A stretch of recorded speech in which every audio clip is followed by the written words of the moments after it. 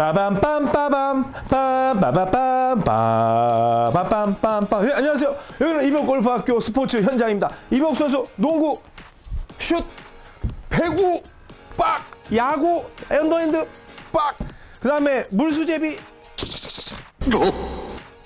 음에 정신없는 거 그죠? 아 여러분 좋아요 구독 알람 설정 빵 해주시고요. 저희 채널은 화면을 터치를 하시면 자막 기능이 있습니다. 한국어, 영어, 중국어, 일본어 자막을 참고하실 수 있으니까 참고하시면서 시청하시면 훨씬 더 큰 도움이 됩니다. 아이고, 제가 왜 느닷없이 이렇게 시작을 했을까요? 바로 스포츠는 하나다. 스포츠는 우리 모두를 하나로 만듭니다. 하지만 제가 드리려는 말씀은 거기 있는 게 아니라 우리가 무언가를 던지는 동작을 할 때 필수적으로 이 동작을 해야 하는데 이건 여러분들의 거리의 원천입니다. 이 방법을 모르면요.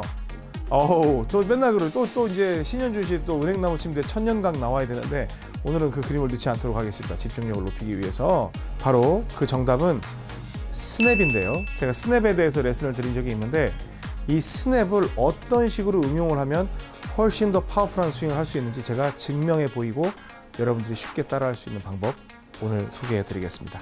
지금 바로 시작하겠습니다. 절대의 소위 이병 골프학교 네, 제가 처음 시작할 때 아주 요란하게 시작을 했죠. 농구를 할 때 여기에서 손이 이렇게 되는 게 아니라 이렇게까지 갑니다. 이렇게. 물론 여기서 이렇게 멈추는 것도 있고 각에 따라서 이렇게 하게 하죠.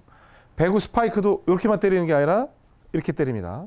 그리고 야구도 던지죠. 그 다음에 뭐 우리 물수제비도 심지어 이렇게 이렇게 손목이 써져야지 힘을 쓸 수가 있습니다. 어, 손 쓰지 마라라고 하는 레슨은 절대로 받아선 안 됩니다. 여러분들은 어딘가에서 레슨을 받으실 때 손 쓰지 마라라고 하는 레슨은 절대로 받아선 안 됩니다. 행여 실수를 할지언정 저는 아이들한테 넘어진다고 해서 하지 마라, 뭐 다친다고 해서 하지 마라. 물론 조심을 시킬 필요는 있지만 그러한 걸 경험하지 않으면 더 큰 사고를 당할 수 있다라고 생각하는 사람입니다. 그래서 뭐든 해보고 싶은 건 한번 해봐라. 하지만 내가 거기 옆에서 지켜보마. 아니면은 못하더라도 주의사항은 알려주마라고 이야기를 하죠. 손목을 쓰지 않는 스포츠, 발목을 쓰지 않는 스포츠, 즉 관절을 쓰지 않는 스포츠가 존재할까요? 구기 종목에서 거의 없을 것 같다는 생각이 듭니다. 그럼 여기에서 스냅이라는 건 뭐냐면 손목을 이용해서 젖힌 손목을 숙이는 젖힌 손목을 숙이는 여러 가지 뭐 스냅의 의미가 있지만 요 지금 골프에서 아니 농구에서 요걸 스냅이라고 그래요. 스냅. 스냅. 그러니까 젖혀서 여기서 멈추는 게 아니라 여기까지 오는 거예요. 여기까지 오는 겁니다. 그래서 어깨로 가서 마지막에 손으로 던지는 거고 그다음 뭐 배드민턴도 스냅일 것 같은데요. 이렇게 가는 것도 있겠지만 스냅일 것 같아요. 굉장히 탁탁 모든 게 이제 스냅일 것 같아요. 지금껏 우리가 골프에서 스냅이라는 걸 쓰지 않을지도 모른다고 생각했던 건 뭐냐면 모두가 로테이션으로만 알고 있어요. 로테이션. 로테이션. 그런데 오른손이 써지는 걸 보면 쭉 내려와서 스냅에 이어서 돌아가는 그냥 바로 돌아가는 게 아니라 스냅이 이루어지면서 돌아가는 이 순서에 의해서 돌아가게 되거든요. 그러면 아예 스냅으로만 치는 사람도 있고 선수를 보면 이러잖아요. 손목이 쫙 가서 이렇게까지 가는 선수도 있어요. 필 미켈슨 보면 버바 왓슨 보면 아예 이 왼손과 오른손이 분리가 되면서 이렇게까지 스냅을 쓰고 있어요. 그럼 저건 기술샷을 치기 위한 방법이다. 천만의 말씀. 제가 볼 때는 필 미켈슨은 다른 스포츠도 굉장히 잘할 거예요. 굉장히 잘할 겁니다. 그리고 버바 왓슨도 그 키는 크지만 마른 체형에 그 정도 거리를 낼 수 있는 건 이 스냅의 능력이 굉장히 뛰어날 거라고 봐요. 그리고 더스틴 존슨도 마찬가지죠. 농구 선수 출신이니까. 자, 그러면 여기에서 스냅이 어떻게 쓰이냐? 농구는 위로 뭐 배구는 이렇게 가는데 우리 골프는 물수제비 뜰 때 팍 이렇게 하는 게 아니라 이렇게 스냅을 쓰죠. 이런 느낌으로 해서 자, 연습 스윙을 한번 하면 이런 느낌이거든요. 손목이 정면에서 보면 이렇게 이 느낌이에요. 젖혔다가 근데 그냥 간다? 그럼 스냅을 어디서 쓸 거야? 그렇죠? 그래서 일단 젖혀져 있어야 돼요. 스냅을 써야 되니까. 그래서 골프라는 스포츠는 골프채를 던지는 게 아니라 공을 치는 거기 때문에 수, 스냅을 쓸 때 이런 스냅이 쓰이는 거예요. 깜짝 놀라셨죠? 또 하나 더 던져볼까요? 여기에서 골프채를 던지는 건 아니지만 젖혔다가 던지는 거예요. 이렇게 던지는 겁니다. 그럼 놓는 타이밍에 따라서 놓는 타이밍에 따라서 왼쪽으로 갈 수도 있고 오른쪽으로 갈 수가 있죠.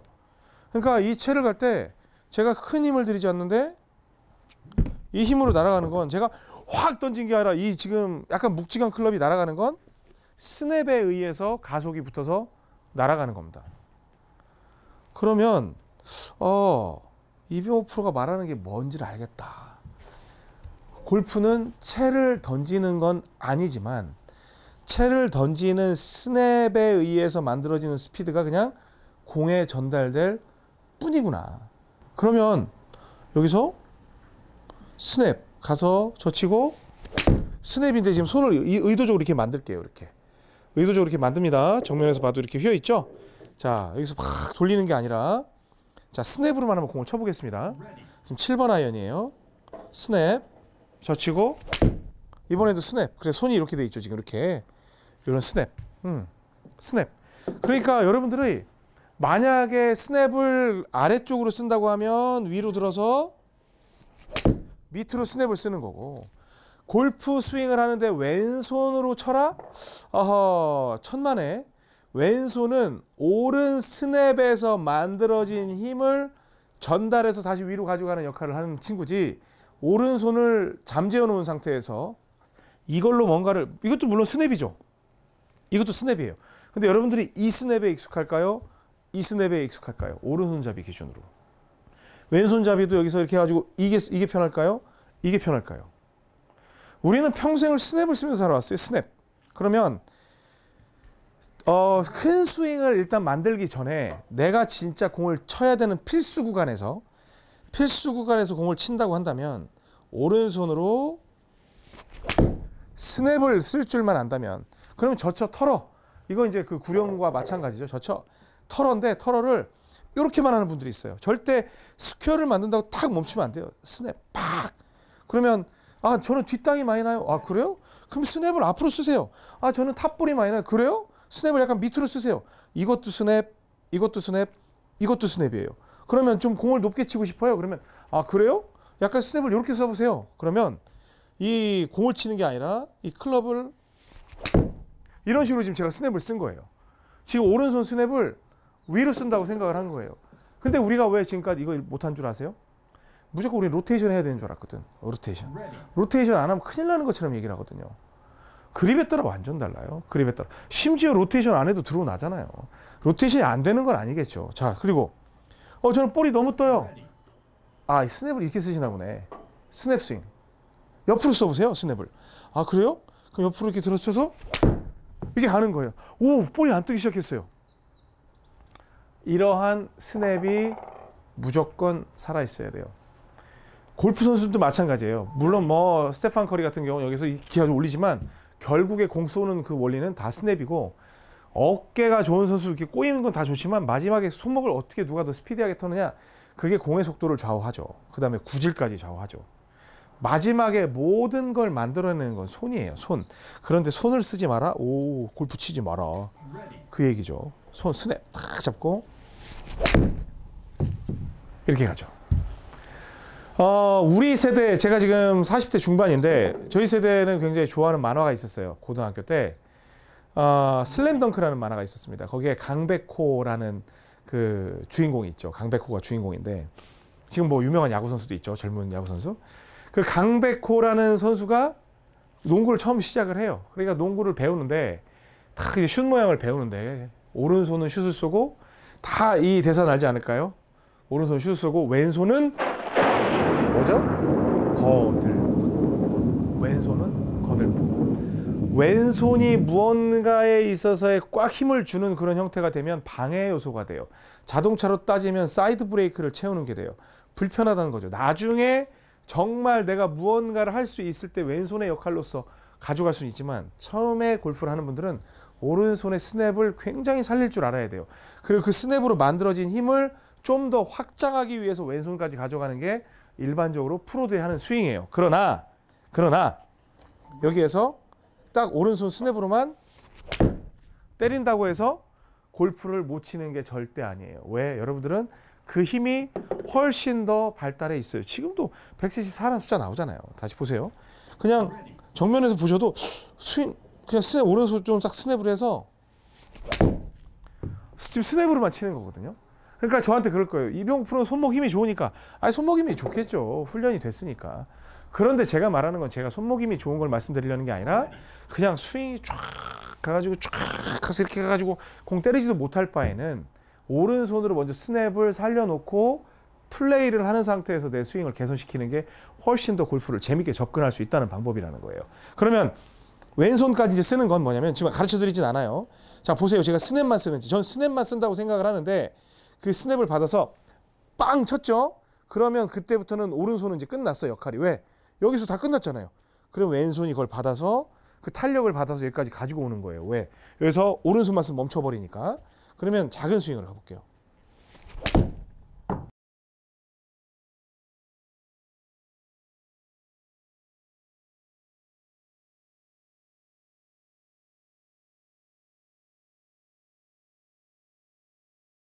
이런 식으로 가는 거예요.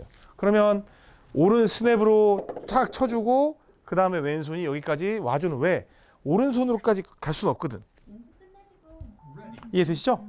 그래서 바톤 터치 오른손에서 만들어지는 힘을 절대로 줄이지 않게끔 가고 이미 줄어들죠. slow down이 되는데 줄어드는 상태에서 받아서 넘기는 게 왼손의 역할이다. 물론 혹자는 위에서부터 왼손으로 끌고 와야 된다라는 분들도 있어요. 그것도 틀린 말은 아니에요. 프로 선수들에게는 저는 되는 것 같아요. 저도 왼손으로 스윙을 할 수 있죠. 저도 여기 있으면 오른손은 거들 뿐 가서 왼손 해서 왼손 축으로 돌리면 훨씬 잘 돌릴 수 있다. 이거 굉장히 좋은 스윙이에요. 그런데 골프를 처음 접하는 분들에게는 어렵다니까요. 이게 훨씬 어려워요. 왼손으로 오른손을 안 쓰고 딱 그냥 거의 거들 뿐 오른손은 거들 뿐 그리고 왼손으로 가서 이렇게 돌린다. 진짜 좋은 스윙이에요. 진짜 좋은 스윙이에요. 안전하고 예쁘고 그러나 나중에 우리가 유연성이 떨어지고 몸이 불편해질 때 이렇게 들고 있는데 그 왼손으로 간다? 천만에. 이제는 우리한테 맞는 스윙 하자는 거예요. 저도 이제 40대 중반 되니까 말씀드리는 거예요. 그럼 이렇게 이금 그 스윙 안 하고 이렇게 하면 안 이쁜가요? 이건 안 이뻐요? 뭐가 편합니까? 왼손으로 으아 해가지고 오는 거하고 아유 물론 제가 편파적인 예를 들었죠. 아유 으아 그렇죠? 쉽게 가시죠. 쉽게 저랑 쉽게 가시죠. 쉽게 그래서 딱 보면 스냅 내가 자꾸 뒷땅을 박는 것 같다. 그러면 위에서 밑으로 스냅 쓰는 거예요. 내가 top ball을 치는 것 같다. 이렇게 스냅 쓰는 거예요. 그러면은 옆으로 칠 거냐, 밑으로 칠 거냐, 위로 칠 거냐는 스냅 돌리는 거 자꾸 생각하지 말고 스냅, 스냅, 스냅, 스냅, 스냅, 스냅. 딱 보고 스냅 draw 나잖아요. 그럼 우측으로 밀어가지고 push draw 치면 돼요. 아시죠? 어프로치도 마찬가지예요. 제가 늘 말씀드렸잖아요. 어프로치. 어프로치를 갖다가 무슨 뭐 손 움직임 절대 안 되고 몸을 돌려야 된다. 틀린 말 아니죠. 그런데 얘는 응용되네요. 무조건 어프로치도 딱 내가 어느 정도의 각을 좋아하냐. 근데 어프로치만 하면 뒷땅이 낮았고. 그럼 여러분들은 스냅을 이렇게 쓰고 있는 거예요. 어프로치는 요 앞에 칠 건데 뭘 이걸 갖다가 세게 할 필요 없잖아요. 그러면 이걸 옆으로. 자꾸 탑볼을 쳐요. 그럼 밑으로. 스냅 방향만 바꿔줘도요. 자, top ball 치는 분들은 이렇게 스냅 쓰는 거예요. 이렇게. 그러니까 top이 나요. 그런데 스냅을 이렇게 밑으로. 안녕하세요. 안녕하세요. 하면 이렇게 가요. 자, 또. 또 가서 안녕하세요.